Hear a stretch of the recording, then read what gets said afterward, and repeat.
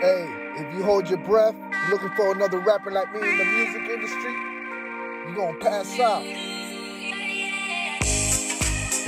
What's with all the sarcasm? I'm the greatest or alive.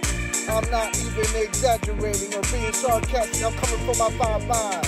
I'm the rightful owner. I'ma need you right here with you belong. They owe me for holding it down so for so fucking long. Long and behold, they are trying to withhold info. I'm just here taking drastic measures. They don't measure up.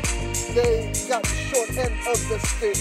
My voice just sounds better, it's as simple as that. Not to mention my versatility when they go against me versus the grain.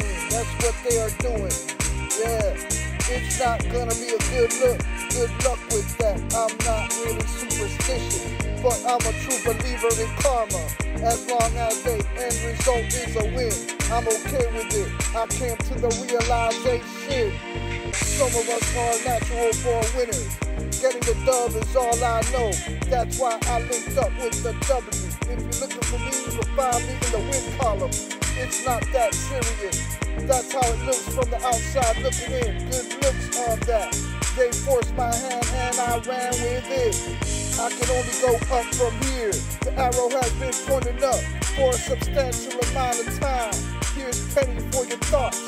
I wish I had a dollar every single time that I absolutely ripped the living fuck out of it. I'm the crazy heckler on the sideline, getting the best of you.